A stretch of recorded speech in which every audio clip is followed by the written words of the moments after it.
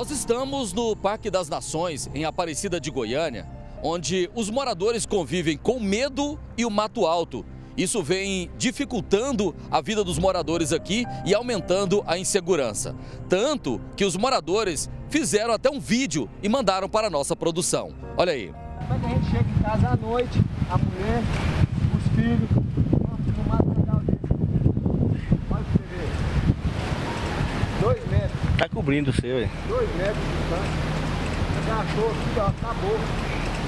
Gente chega em casa, é um perigo constante.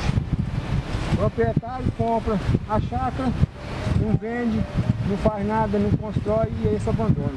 A gente pede proteção pede a prefeitura poder ver se consegue roçar isso aqui ou passar uma máquina, dar um apoio pra gente aqui, que a gente não aguenta mais esse abandono.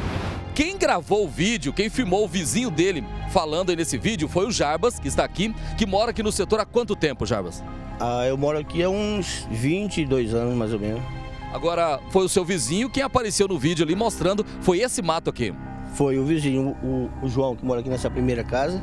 Aí ele entrou aqui no mato aqui, né? E eu filmei ele para mostrar isso aqui, né? Porque nós estamos aqui abandonados, né?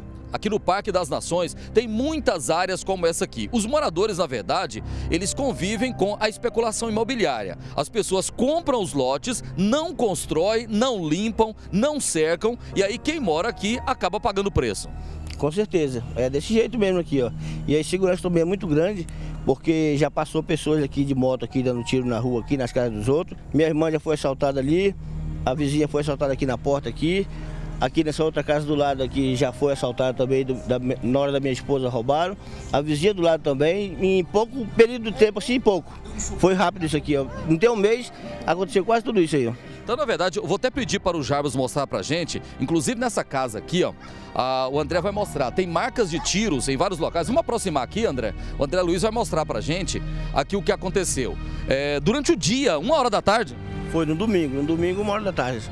Uma hora da tarde, passou uma pessoa aqui, ó, e efetuou vários disparos. Aqui nessa parede, aqui nesse muro, dá pra gente ver onde um dos tiros acertou.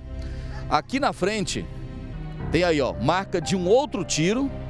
E lá em cima, naquela cerâmica, tem uma outra marca, né? Depois disso, os moradores aqui deixaram a casa, foram embora. Só que não foi o único caso, não. Jarbas, conta pra gente. Aqui nas casas próximas, todas já foram roubadas também.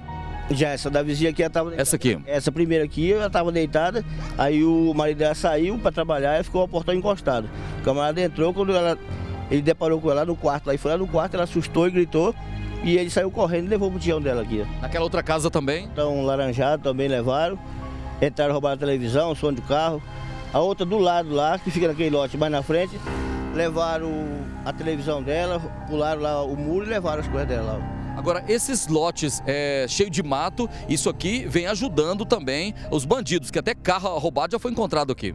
Isso, já foi encontrado um carro aqui, puseram fogo lá por volta da meia-noite aqui, puseram fogo no carro roubado. E aqui tá feio, aqui esse setor aqui, ó. Desse jeito aí que vocês estão vendo, mato e atrai a atenção dos bandidos aqui. Essa outra senhora que está aqui, ela também já foi vítima dos bandidos. A senhora estava andando na rua durante o dia. Esse horário, mais ou menos, sim. O cara veio na moto e parou, já foi parando e dando voz de assalto, né? Falando, passa a carteira.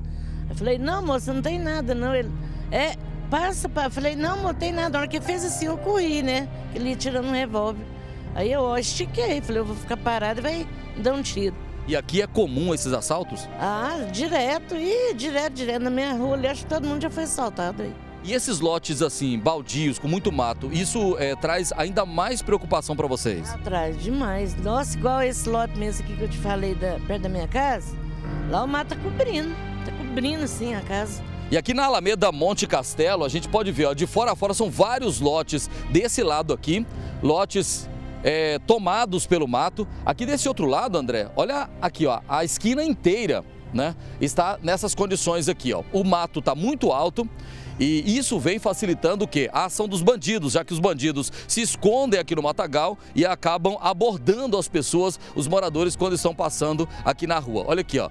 É uma quadra inteirinha que a gente vê aqui, bem no final da Alameda Monte Castelo. Tem uma cerquinha ali, mas o mato está tão alto que já até escondeu a cerca aqui nesse lote. Olha aí, ó, de fora a fora o que a gente vê é mato que serve como esconderijo para bandido. E isso vem assustando aqui os moradores. Imagine durante a noite ou até mesmo durante o dia passar num local como esse tomado pelo mato.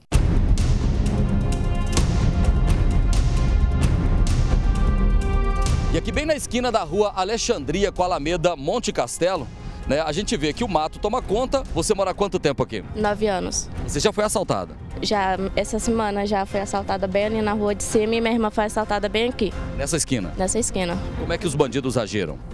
Só pediu o celular e falou que não era para olhar para trás. Então, na verdade, durante o dia, à noite, qualquer horário aqui, vocês são alvo dos bandidos. Sim. Qualquer hora.